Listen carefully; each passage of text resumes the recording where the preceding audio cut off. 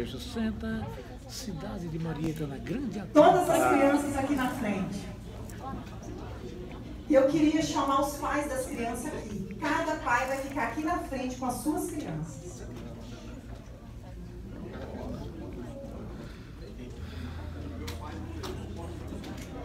Porque hoje, esse, essas- esse final de semana foi feito um trabalho com as crianças. E o tema Deus está tentando a tua história. Deus, ele tem uma história para cada um de nós que estamos aqui. Agora basta saber se você quer viver a sua história, a, a sua escolha, fazer aquilo que você quer ou fazer aquilo que Deus tem para a tua vida. Oh, glórias! Então, o que quer dizer essa palavra? Deus está pintando a tua história. Deixa Ele criar a tua história. Oh, glória a Jesus! Deixa Ele criar tudo aquilo que Ele fez, que Ele tem para a tua vida, porque Ele é o teu Criador. E eu queria falar algo para os pais que estão aqui. Os teus filhos estão te assistindo. E você que é pai e mãe sabe o que eu estou dizendo, porque eu sou mãe. Os filhos, eles olham para nós e esperam algo da, da, da nossa parte. Os filhos assistem o pai porque eles procuram alguém para parecer, alguém para copiar. Não é assim? Nós não queremos assistir e olhar para pessoas que fazem a diferença nessa terra? E assim não é diferente com os nossos filhos. Então, o que eu queria, paz, neste momento, é que você agora fechasse os seus olhos e que toda a igreja, aqueles que os filhos já estão grandes, todos se colocam de pé agora. E os pais que estão aqui, você vai fechar os seus olhos e você vai começar a abençoar os seus filhos. Você vai começar a declarar a bênção de Deus sobre ele. Você vai dizer assim: Pai, escreva uma história a partir de mim e que essa história venha atingir toda a minha geração. E você começa a abençoar os teus filhos e declarar Deus. Então todo mundo as suas mãos para essas crianças que estiveram aqui esse final de semana recebendo e você vai abençoar elas também. E eu quero todos os pais declarando a bênção do Senhor sobre a vida dos filhos. Vamos orar. Pai querido, amado, nós estamos aqui na tua presença, ó Deus, porque nós somos teus filhos e o Senhor é o nosso Pai. E aqui estão, Senhor, cada criança que esteve aqui, Senhor, nesse projeto, nesse trabalho maravilhoso, ó Deus. E nós queremos entregar cada uma dessas crianças diante do teu altar. E queremos declarar no mundo do Espírito.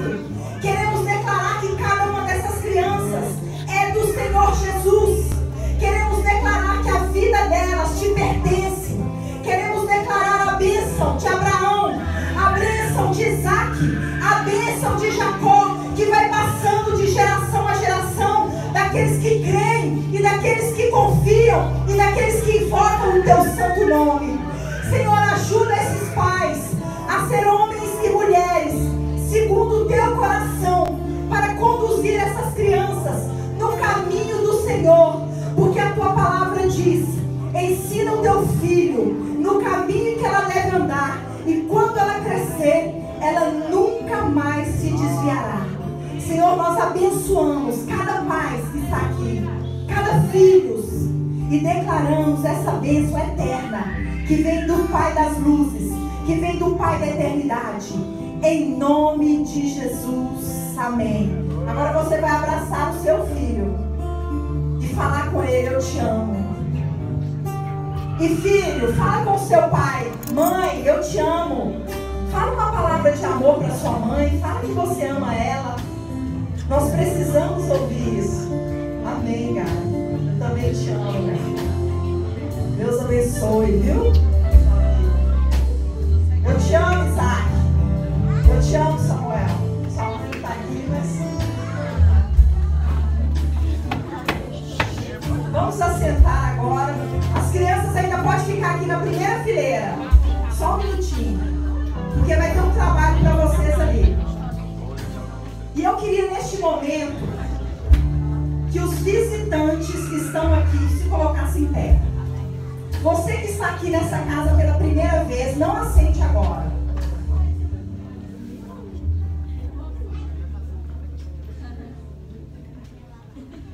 As pessoas que estão nos visitando pela primeira vez, fique de pé, por favor.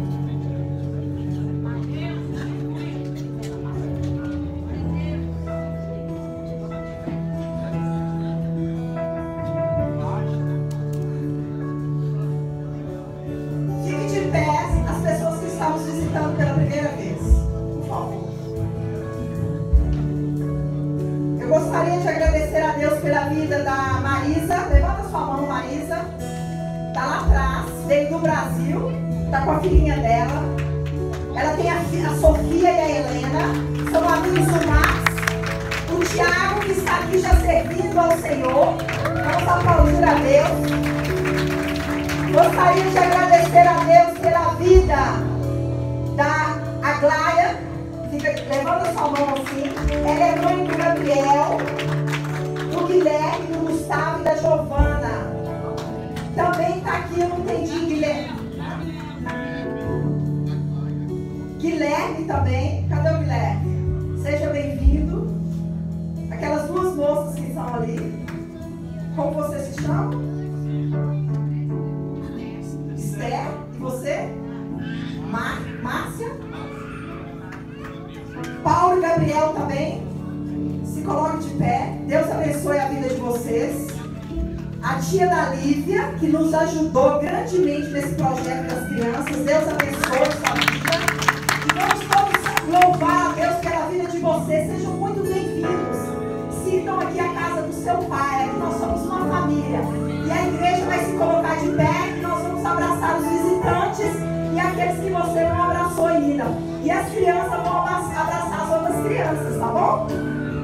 fazer isso? Vamos adorar a Deus?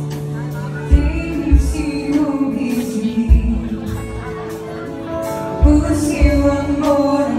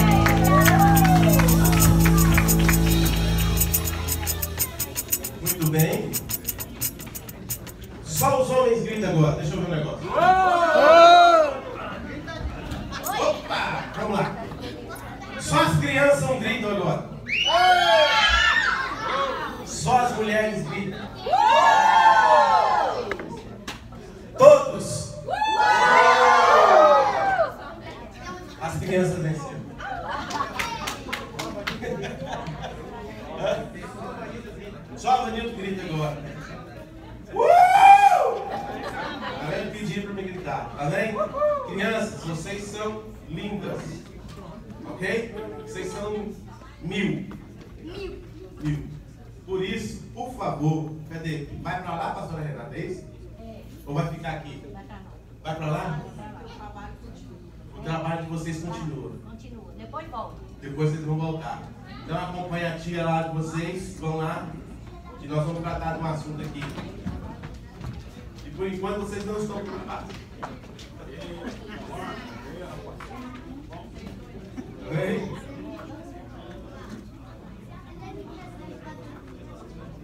Né, Léo? É... Bora. Você.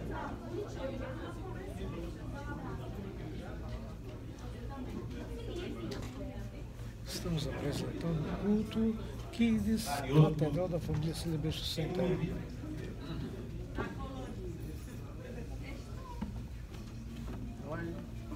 Gostaria que o povo do Senhor, os ricos, abençoados, cheios de unção, abrisse a Bíblia do Senhor em Marcos 12.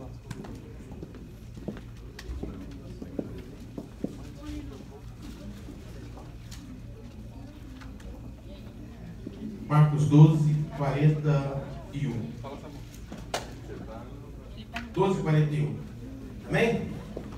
Quantos encontraram? Marcos 12, 41.